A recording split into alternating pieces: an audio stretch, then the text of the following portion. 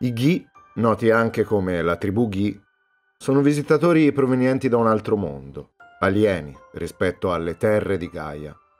La loro venuta non è dettata da scopi di conquista o curiosità, ma da una necessità impellente, la sopravvivenza. Un cataclisma ha cancellato il loro pianeta natale, spingendoli a una fuga disperata attraverso lo spazio stellare, fino al loro arrivo su Gaia.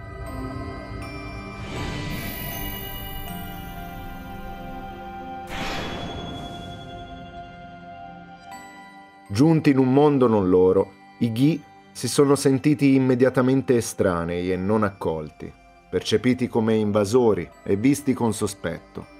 Questo li ha portati a vedere i Setra, gli abitanti originari di Gaia, come nemici da temere e contrastare. Nel racconto originale di Final Fantasy VII, i fantasmi dei Ghi si manifestano con fattezze spettrali, sembianze umanoidi scheletriche, abbigliamento scarso, armati di lance primitive e di statura imponente, superiore a quella degli umani. Ma la loro rappresentazione evolve in Final Fantasy VII Rebirth.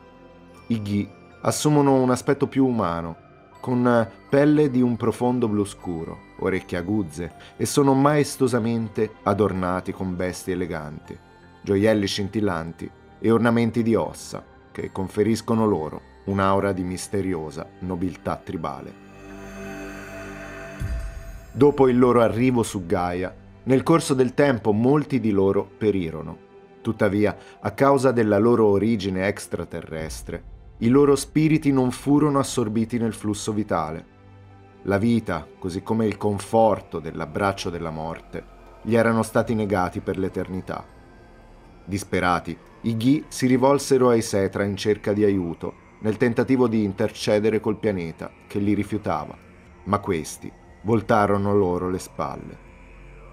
Consumati dalla furia e dal rancore, i Ghi, un tempo nobili ma ora trasformati in spiriti tormentati, escogitarono un piano oscuro per colpire al cuore i loro nemici, i Setra. In un atto di disperazione e vendetta, riuscirono a sottrarre ai Setra un artefatto di potenza inimmaginabile, una materia magica pura. Con oscure cerimonie e incantesimi proibiti, i Ghi infusero questa reliquia con la loro anima tormentata, trasformandola in una sfera avvolta dalle tenebre, carica di un potere devastante.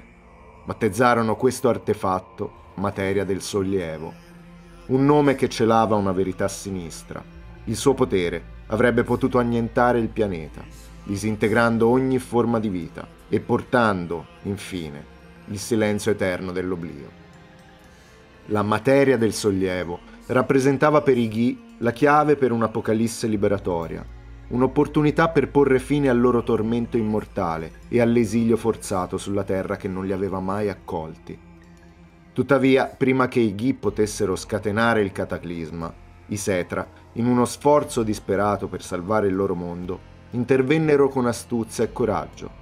Con una battaglia epica, intrisa di magia e sacrificio, i Setra riuscirono a recuperare la materia oscura dalle grinfie dei Ghi, ma incapaci di distruggere o purificare l'oscura e corrotta materia nera, i Setra, custodi dell'equilibrio planetario, furono costretti a cercare una soluzione drastica per evitare che un potere tanto devastante cadesse nelle mani sbagliate. Così eressero un'enorme costruzione, un labirinto di proporzioni colossali, progettato non solo per confondere e scoraggiare eventuali avventori, ma per proteggere l'oscuro artefatto al suo interno. Con sapiente maestria e incantesimi dimenticati, i Setra sigillarono quindi la pericolosa reliquia all'interno del labirinto, per garantire che nessun essere, per quanto astuto o potente, potesse mai raggiungere l'artefatto. Essi forgiarono una chiave litica uno strumento di pietra inciso con simboli arcani, e la nascosero in un luogo distante, avvolto da enigmi e custodito dalle forze della natura stessa. Senza quella chiave, il labirinto che celava la materia nera non si sarebbe neanche potuto vedere. Con il passare dei secoli, l'esistenza della materia nera e la vera natura dell'imponente struttura furono avvolte dall'oblio le generazioni si susseguirono e la memoria di quelle conoscenze si offuscò insieme a quelle dei Setra, fino a diventare leggenda. I pochi eruditi e guardiani che ancora conoscevano la storia del luogo lo iniziarono a chiamare il Tempio degli Antichi. Ma al tempo, non contenti di aver sottratto e messo al sicuro il mortale artefatto nero nelle profondità insondabili del pianeta, i Setra imprigionarono gli spiriti dei Ghi in un abisso senza luce, lontani dal livestream, condannandoli a un'esistenza ancora più tormentata. In questo modo, i Setra speravano di aver messo al sicuro il destino del loro mondo, seppellendo anche gli spiriti vendicativi che avevano creato la materia nera, cercando di usarla per la distruzione finale. Il Tempio, con i suoi misteri e la sua storia dimenticata, rimase un monumento invisibile e silenzioso a un'epoca in cui i Setra avevano affrontato e confinato una minaccia così grande da poter annientare l'intero pianeta.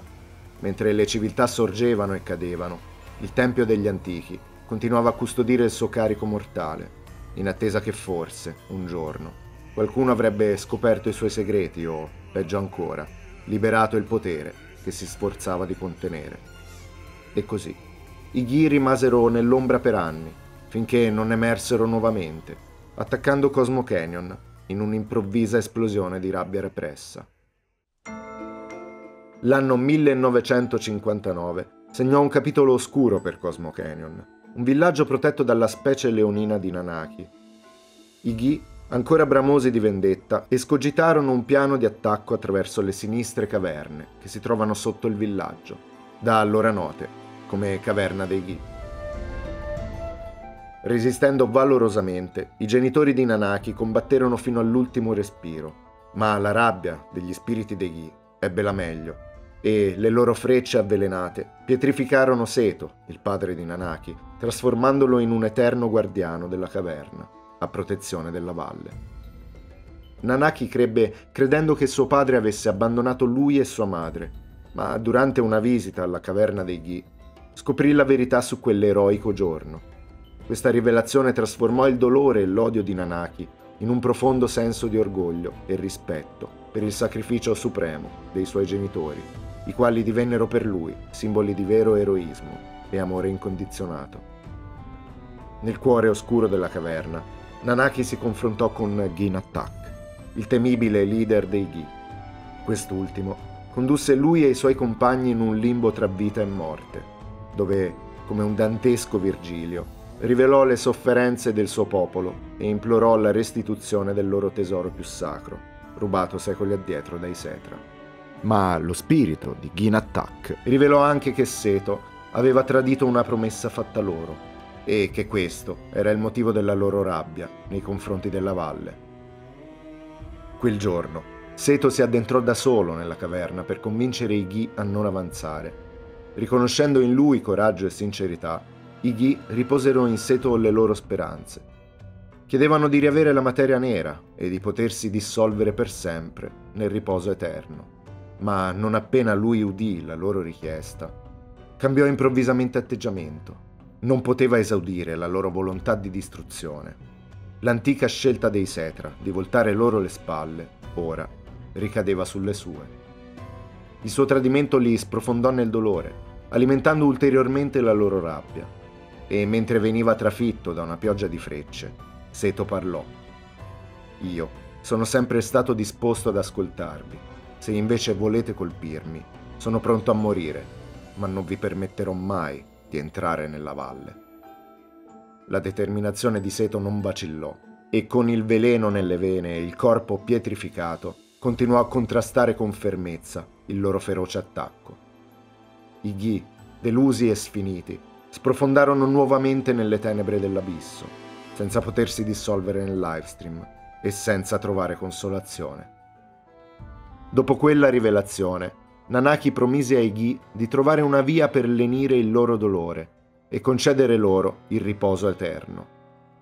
Una volta che gli spiriti si dissiparono, Red confidò a Cloud la sua lealtà e il suo impegno. Sebbene non avesse mai avuto l'intenzione di consegnare la materia nera ai Ghi, il suo obiettivo rimaneva chiaro, trovare una pace definitiva per quella tribù, una promessa di quiete nel tumulto del loro tormentato passato. La genesi della materia nera si radica nel dolore e nella sofferenza insopportabile dei Ghi, anime vaganti prive di pace. Nati da una calamità che ha annientato il loro mondo, i Ghi si sono trasformati in rifugiati spettrali, intrappolati in una realtà che non riconoscono come propria e costantemente perseguitati dalla tragedia del loro passato.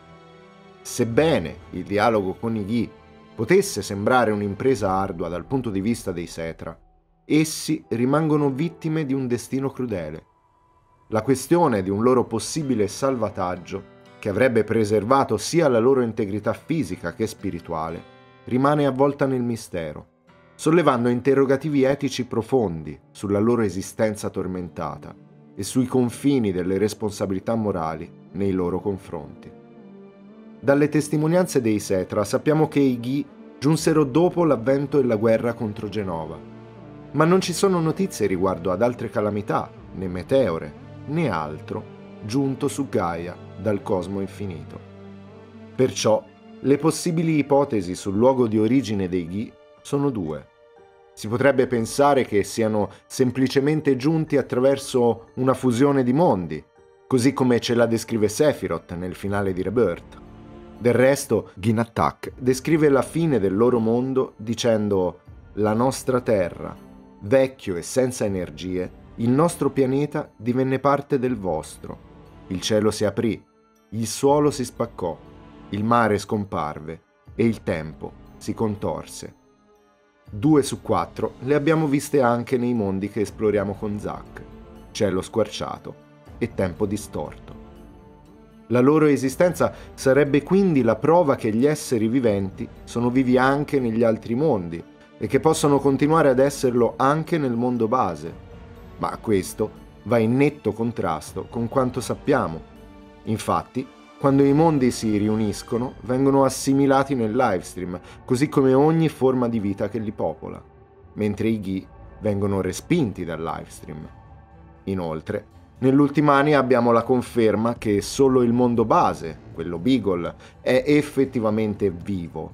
Tutti gli altri sono solo dei riflessi. Quindi resta una sola opzione. I Ghi devono essere arrivati con Genova. Perciò la calamità che ha distrutto il loro mondo deve essere proprio Genova.